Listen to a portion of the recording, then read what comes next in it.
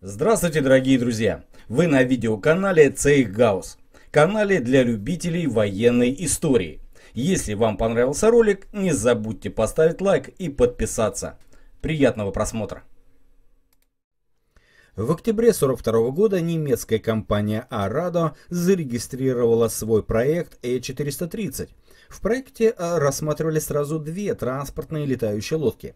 Первая амфибия с размахом крыла 23,7 метра, оснащенная двумя двигателями Bramo 323R2 и способной перевозить до 10 пассажиров. И вторая обычная летающая лодка, чуть меньшая, с размахом крыла 18 метров моторами «Аргус» и пассажирским салоном на 8 человек. Поскольку производственные мощности Арадо были заняты, решено было перевести создание проекта в оккупированную часть Франции. Реализовать прототип поручили специалистам компании Сипа и Дивуатин. На прототипе Arado 233, серийные машины получили бы индекс Arado 430, должны были использовать двигатели BMW мощностью в 1000 лошадиных сил.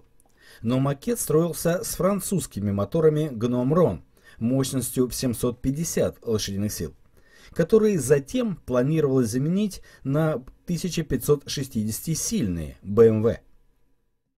В 1944 году был построен полноразмерный макет летающей лодки-амфибии Арадо-233.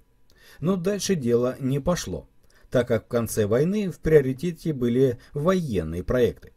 Макет пережил окончание войны, но затем, очевидно, был разобран рабочими СИПа.